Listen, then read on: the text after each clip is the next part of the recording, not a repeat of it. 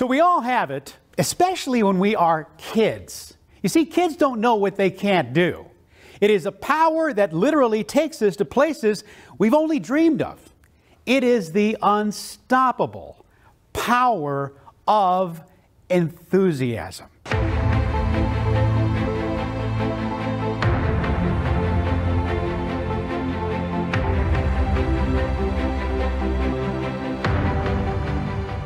And here's my story. I remember exactly where I was when I discovered this power. I didn't know I had it, but it was working and working. And it's worked for me all my life. I was 11 years old, and I was watching my favorite television show, Yogi Bear. Yogi Bear was bigger than life. He had this incredible personality. Hey, hey, hey, I'm Yogi Bear, smarter than the average bear. And what was his little friend's name? Yogi, Yogi, we're gonna get in trouble with the ranger. Don't worry about a thing, little boo boo. I got it under control. you see, I discovered at a very early age that I had this uncanny ability and almost obligation to mimic voices that I heard, especially the voices on television.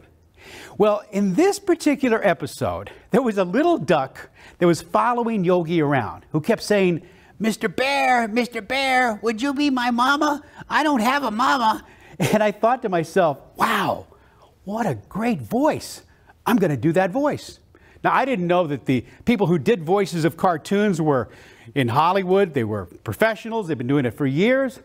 All I knew was that I was going to do that voice.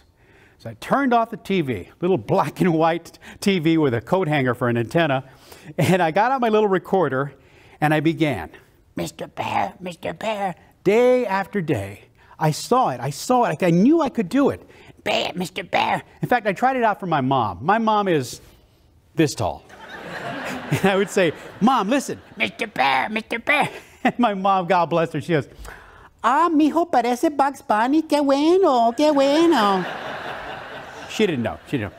So, there I am with my little recorder every day. And then all of a sudden, one day, out of my little 11 year old mouth came, Mr. Bear, Mr. Bear, would you be my mama? I don't have a mama. I'm just a poor little orphan. Well, I was just as shocked as you are right now.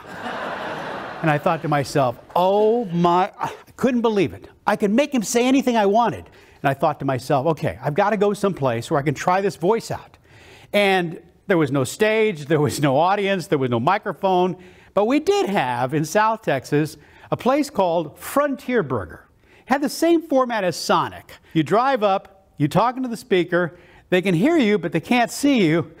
And uh, I had a friend had a car. We drive up, the guy says, Frontier Burger, I take a order, please.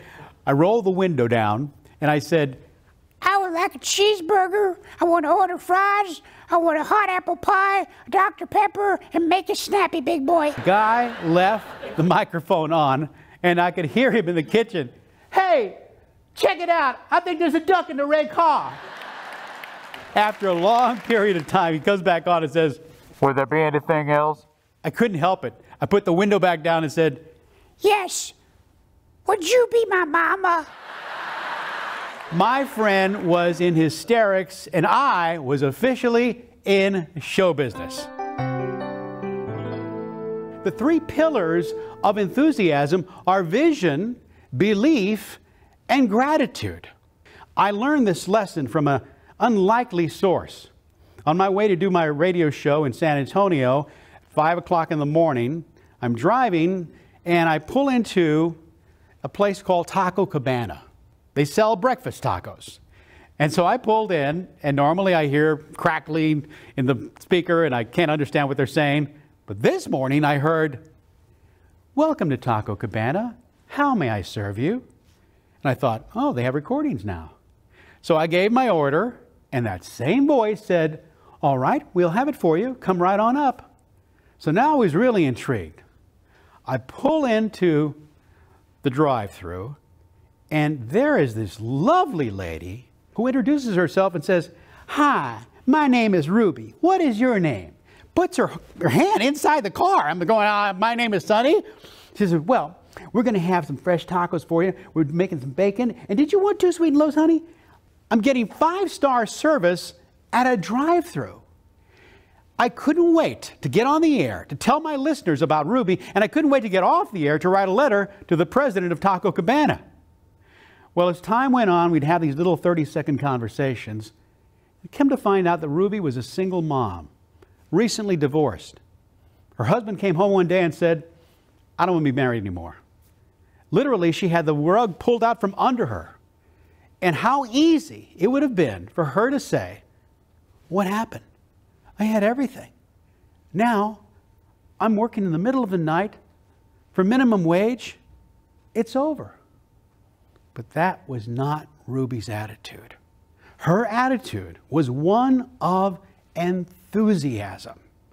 She thought to herself, I've got to get my 13 year old son to college. I've just got to apply myself. And that's what she did. And one morning, she taught me a lesson that, well, I'll never forget. She said, and by the way, whenever you're on the radio, people are always asking you for prizes and money. And by the way, I don't have any with me right now. But they literally are always asking you for things. And I drove up and she said, Sonny, you wouldn't by any chance have any tickets for tonight's Spurs basketball game, would you? I said, No, Ruby, I, I'm sorry, I don't. Well, I would like you to have mine. You see, I've been voted Employee of the Month and I cannot go, and you're my best customer. I want you to have these tickets. Unbelievable.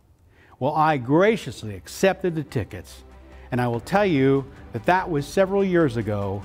Ruby is now working for a major corporation, and yes, her son did make it to college.